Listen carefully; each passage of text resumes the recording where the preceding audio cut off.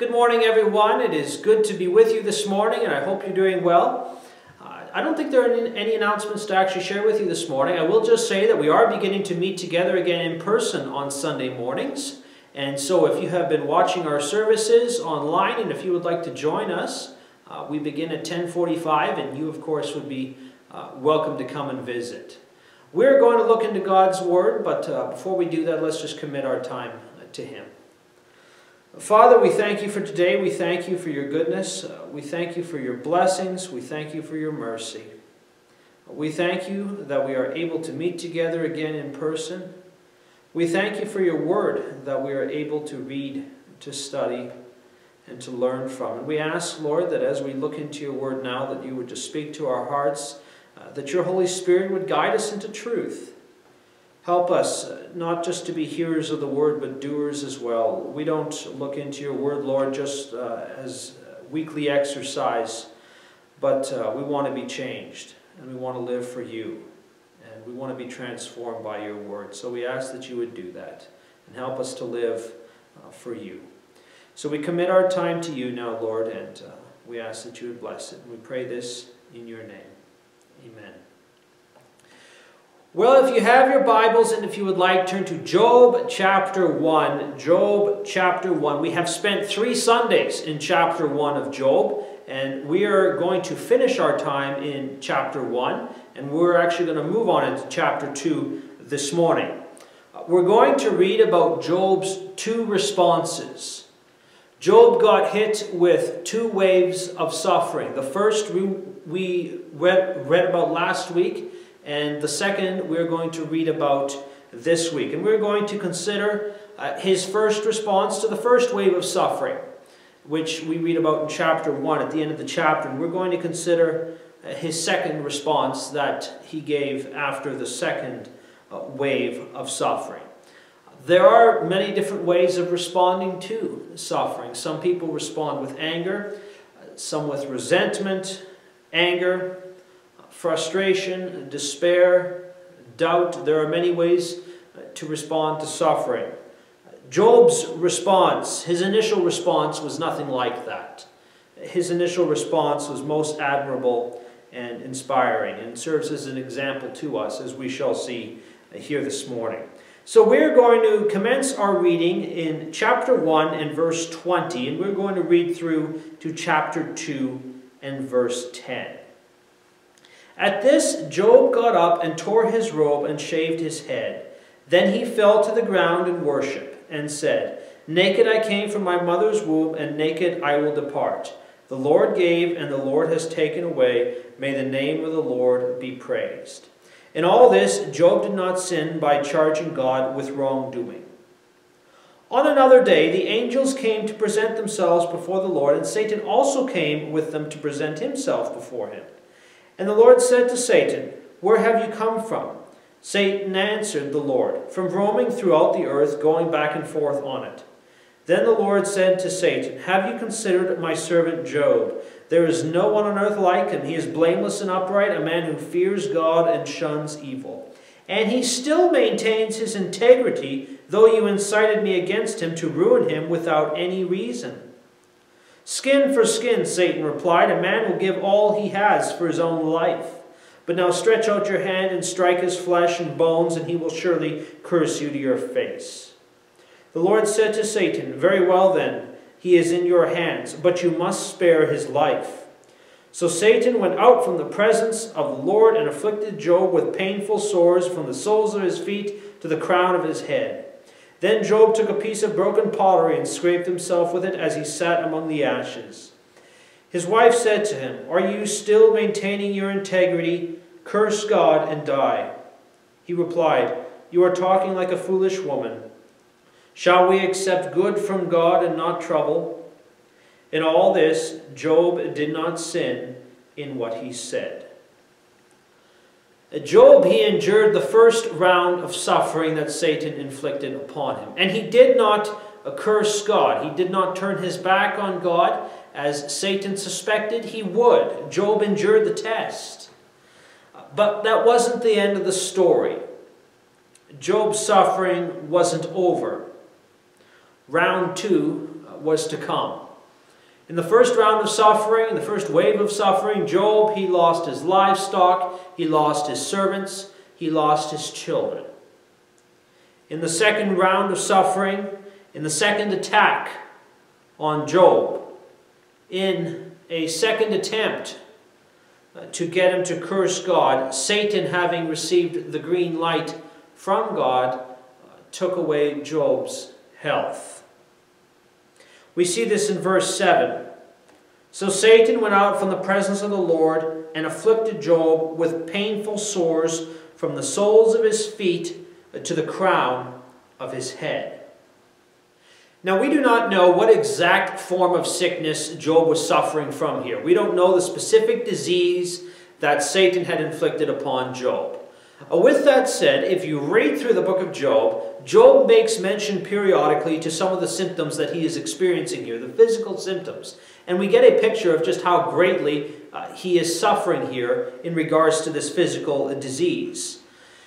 We see in verse 7, which we read, that he is suffering from sores.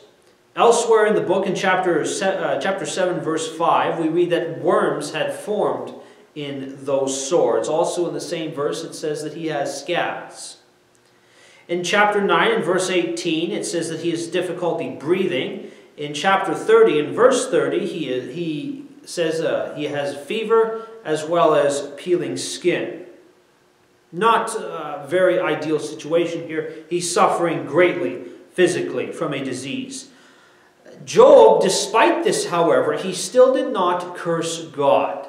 As Satan, of course, suspected that he would. He did not curse God. This is actually where we are introdu introduced to Job's wife, uh, Mrs. Job. This is where she comes into the narrative. We read about her in verse 9. His wife said to him, Are you still maintaining your integrity? Curse God and die.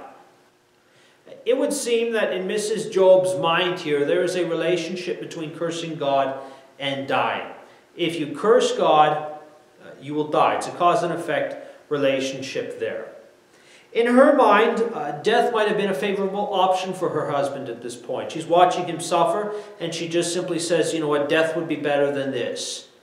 So curse God and bring on death, because that would be better than this.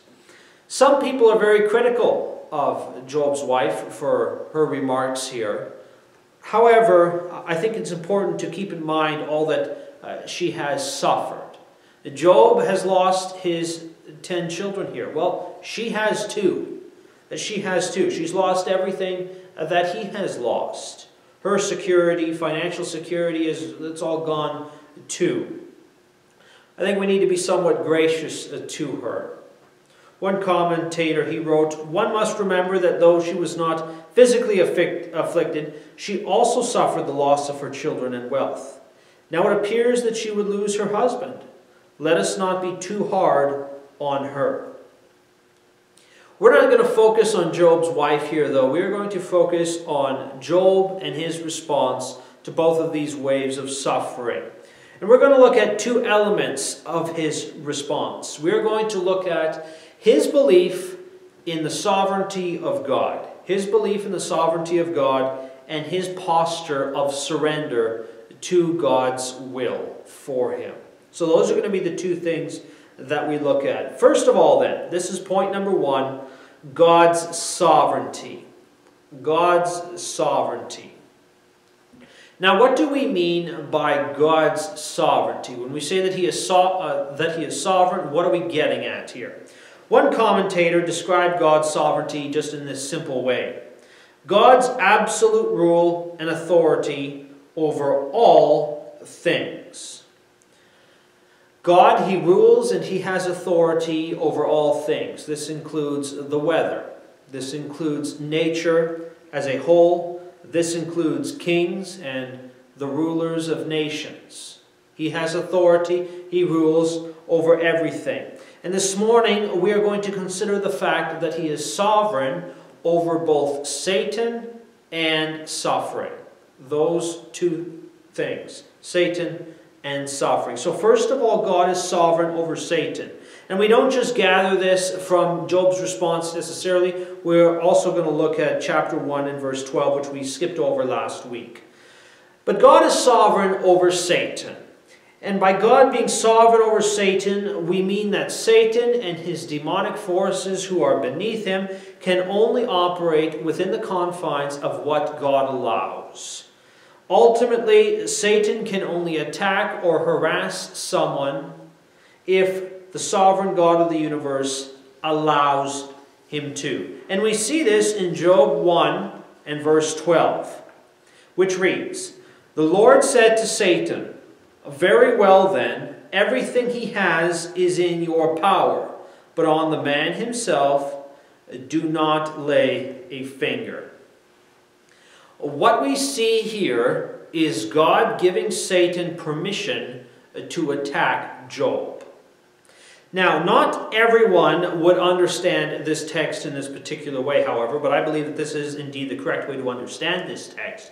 I was listening to one uh, speaker uh, speak on the subject of Job. His name is Todd White. He's a charismatic from down south. Uh, he's not exactly what I would consider to be a shining beacon of sound theology, and he said this in regards to Job in a talk that he was giving. We say God had to give Satan permission to do that. And so we get this picture when some tragedy comes that Satan had to ask permission to come and attack me. If God had to be asked permission for him to come and attack you, God could have stopped it. So he's to blame. Now, Todd White's logic here, it isn't necessarily bad. Uh, there is, this is true. The logic is sound. It does stand to reason that if Satan had to ask God for permission to come and attack you, then God could have stopped it. God is therefore ultimately responsible. And he's right. God is ultimately responsible. He is ultimately sovereign over all things. It's just that in Todd White's mind, this is a problem here. God can't be responsible for bad things. God is only responsible for good things. Uh, but this was not Job's understanding here, and we see this in Job's response. Look at what he says in chapter 1 and verse 21. Naked I came from my mother's womb, and naked I will depart. The Lord gave, and the Lord has taken away. May the name of the Lord be praised. The text does not say here that the Lord has given and Satan has taken away It says, The Lord has given and the Lord has taken away. May the name of the Lord be praised. Yes, Satan was the one who directly attacked Job, but it was God in his sovereignty who allowed Satan to do that. And if God had not given Satan the green light, Job would never have experienced the suffering that he did. The only reason he experienced this satanic attack is because God in his sovereignty allowed it to happen. Good things and bad things, all of it comes from the Lord ultimately. And this is something that Scripture is very clear on. We're going to get to this in a couple more minutes when we talk more about uh, God being sovereign over suffering. But just to make the point, look for example at Isaiah 45 and verse 7. I form the light and create darkness. I bring prosperity and create disaster. I, the Lord, do all these things. God is sovereign over all the earth, and He has sovereign, He has absolute authority over Satan and the demonic forces who are beneath him. And this is something that we see throughout Scripture. This isn't just in the book of Job, we see it elsewhere as well. Uh, for example, in the New Testament, there was a demon possessed man, a wild demon possessed man, who lived in the tombs in the region of Gerasenes, and he came out to meet Jesus one day. And this is what the text reads. This is Mark chapter 5, verse 11 to 13. A large herd of pigs was feeding on the nearby hillside. The demons begged Jesus, Send us among the pigs. Allow us to go into them. He gave them permission. And the impure spirits came out and went into the pigs. The herd, about 2,000 in number, rushed down the steep bank into the lake and were drowned. You'll notice the wording in the text there. The demons are saying, Allow us to go into the pigs. And then, of course, the text says that he gave them permission. He gave them permission. The demons wanted to go into the pigs. They were requesting permission to do that. Jesus gave them permission, and so they did. Another example would be when Satan asks to sift the disciples. And we read about this in Luke 22 31. Simon, Simon, Satan has asked to sift all of you as wheat. Satan has asked permission to sift the disciples. And why did he ask permission? Well, the reason is because he's not free to do whatever he wants, whenever he wants. He's on a leash. He can extend his hand of destruction only as far as God in his sovereignty will allow him to, and no further. Matthew Henry, in his commentary, he wrote this It is a matter of comfort that God has the devil in a chain, in a great chain. He could not inflict Job without leave from God, first asked and obtained, and then no further than he had leave. It is a limited power that the devil has. He has no power to, to debauch men, but what they give him themselves, nor power to afflict men, but what is given him from above. And this is a profoundly comforting reality when we stop and think about it. To think that we are not at the mercy of Satan, who is unhinged and can roam about doing whatever he wants, whenever he wants. He's on a leash, he's on a chain. We're not at his mercy. We are at the mercy of the sovereign God of the universe who loves us and cares about us. So that is the first area where we see that God is sovereign. He's sovereign over Satan.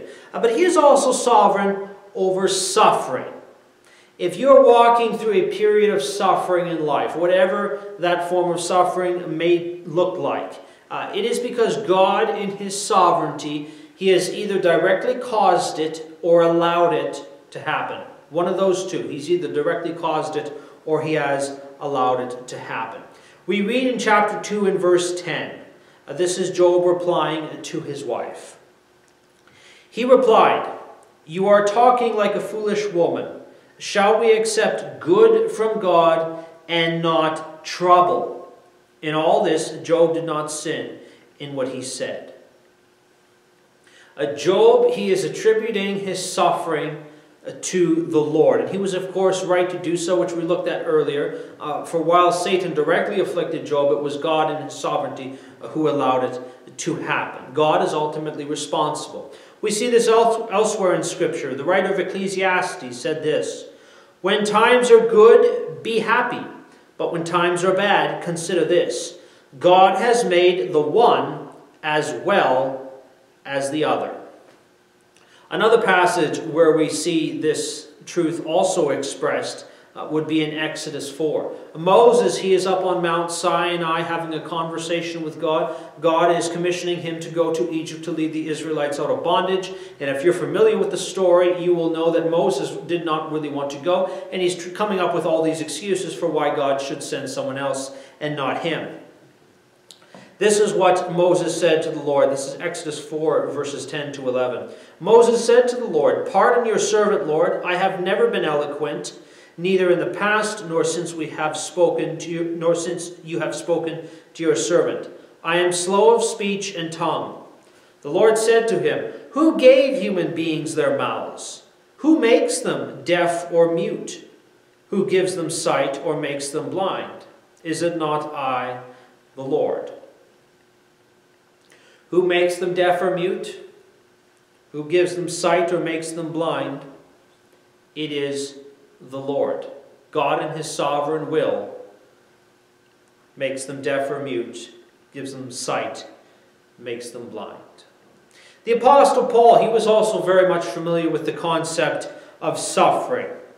And he was aware of the fact that God was in full and complete control of the suffering that was afflicting him. We read about Paul's thorn in the flesh in 2 Corinthians 12. This is what the text says. In order to keep me from becoming conceited, I was given a thorn in my flesh, a messenger of Satan, to torment me. Uh, three times I pleaded with the Lord to take it away from me, but he said to me, My grace is sufficient for you, for my power is made perfect in weakness. God, uh, Paul, he pleaded with God to take the thorn in his flesh away, whatever the thorn may be. And this would suggest that God was in control. God was sovereign over that thorn in Paul's flesh. He had authority over it, he was in control of it. It's no different with the suffering that we experience. Whether it be physical suffering, mental suffering, relational suffering, uh, financial suffering. God either directly causes it to happen or allows it to happen. He is sovereign over it. The natural question that follows is, of course, why? God is sovereign over it, He's in control of it. Why would He allow this to happen, this suffering to happen? And that's a question that we are going to look at in the coming weeks. But for now, I want us to remember that God is in control of all things. He is sovereign over all things. He is sovereign over Satan, over the demonic forces who are beneath him. He is sovereign over suffering whatever suffering may be. He was sovereign over Job's suffering. He allowed it to happen. He is sovereign over our suffering as well. We do not suffer just due to blind fate or chance. God is in control of all things, and if we are suffering, it is because He has either directly caused it to happen or He has allowed it to happen. And this is actually indeed a wonderful and comforting truth that God is sovereign in this way. The great prince of preachers, Charles Spurgeon, he said this He who feels that everything cometh, cometh to pass according to God's will hath a great mainstay to his soul. He need not be shaken to and fro by every wind that bloweth, for he is fast bound, so that he need not move. This is an anchor cast into the sea. While the other ships are drifting far away, he can ride calmly through. So that is point number one, God's sovereignty. That is what we can glean from Job's response here, is that God is sovereign. Uh, we can also see Job's posture, how he responds to the sovereignty of God. And this brings us to point number two, which is man's surrender. Man's surrender. If it is God's will uh, that we walk through periods of suffering, as we inevitably will in this life. We will walk through suffering. We considered that last week. The question becomes what is to be our response? Job's response, when we consider it, it was one of surrender, it was one of submission, and that is to be our response as well. We read about this in chapter 2 and verse 9 and 10 when he's responding to his wife.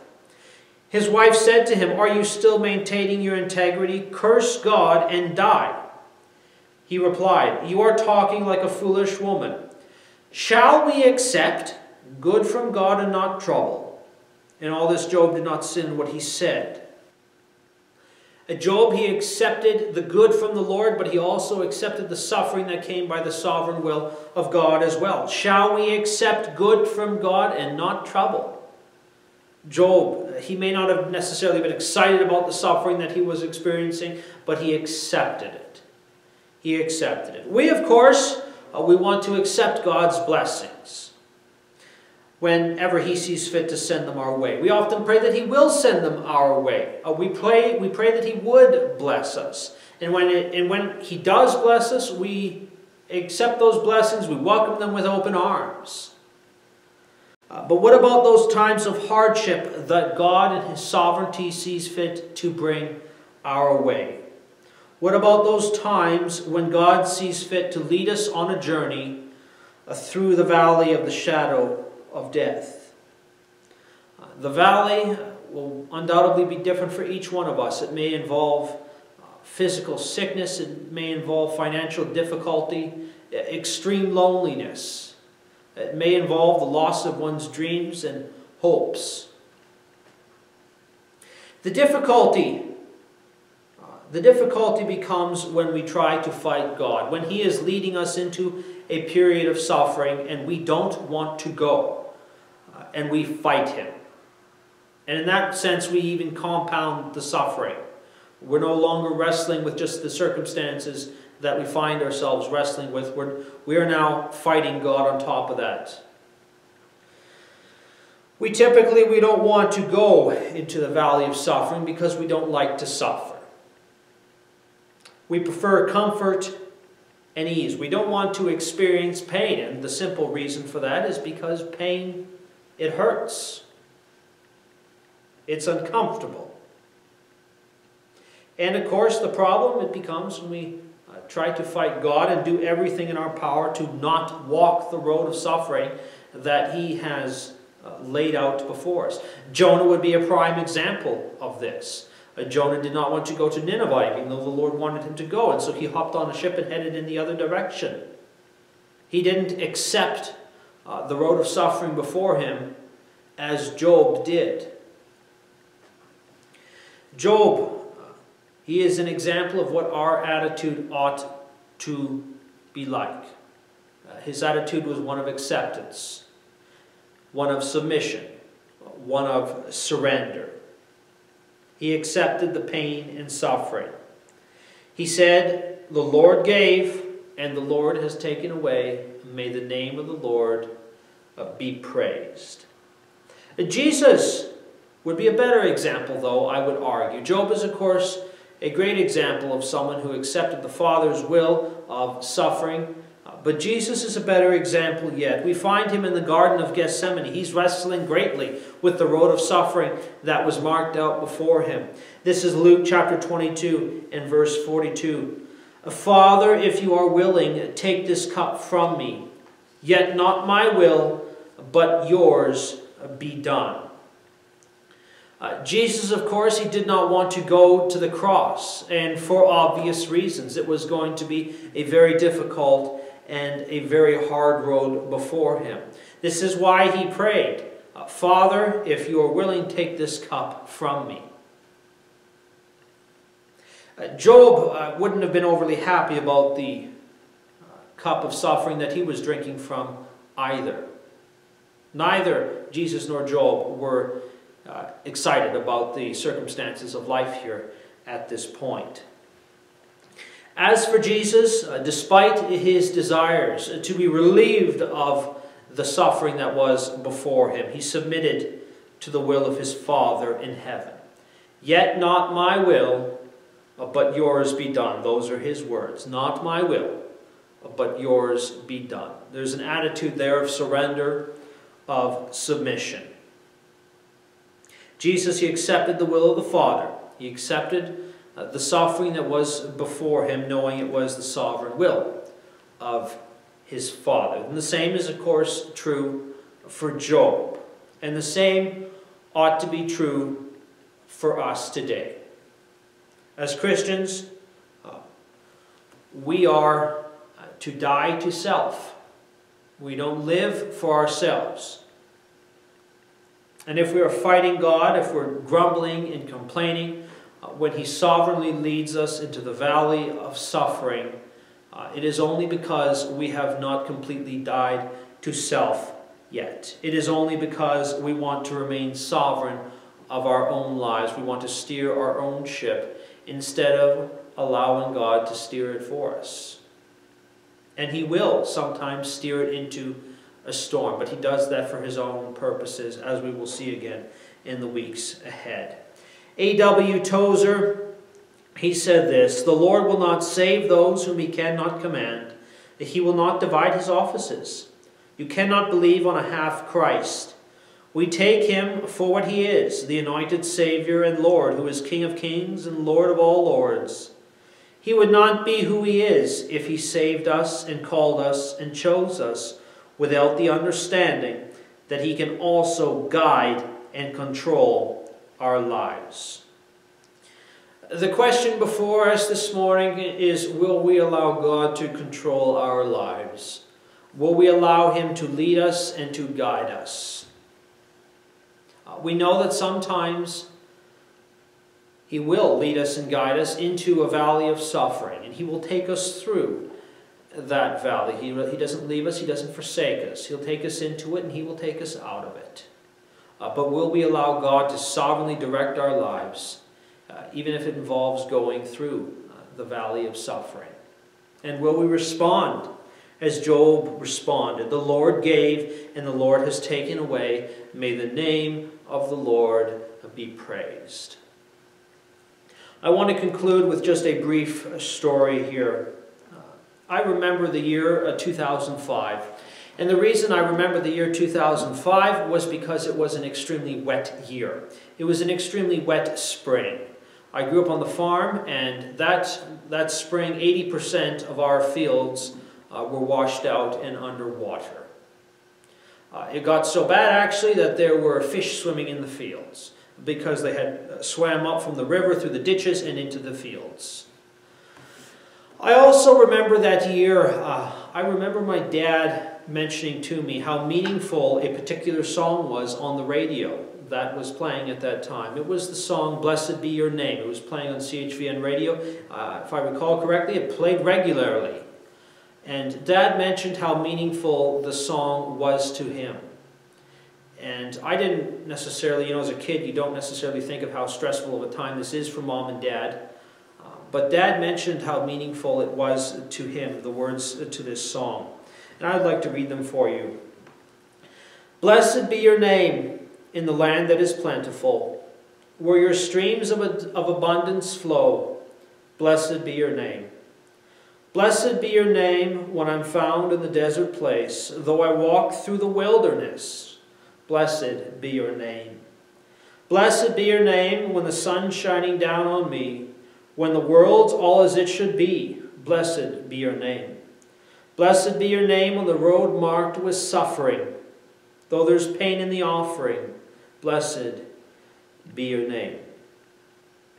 Every blessing you pour out, I'll turn back to praise. When the darkness closes in, Lord, still I will say, Blessed be the name of the Lord, blessed be your name. Blessed be the name of the Lord, blessed be your name. That was Job's response, and I pray that that will be your response too when God sees fit in his sovereignty to lead you also into the valley of suffering as he did with Job. Let us pray. Father, we thank you for your word, for your word is good, your word is true. And Lord, we thank you for the wonderful example that we have in Job here of a man who did not curse you, who did not turn his back on you when you led him, when you allowed him uh, to walk into the valley of suffering. I pray, Lord, that the position of uh, the position of our hearts, the attitude of our hearts, would be that of submission, surrender to your sovereign will. Whatever it is that you see fit, Lord, uh, to allow to come our way. Uh, may our trust be in you. May our hope be in you. And may we always bless your name, Lord, in the good times and in the bad. And we pray this in the name of your Son, Jesus Christ. Amen.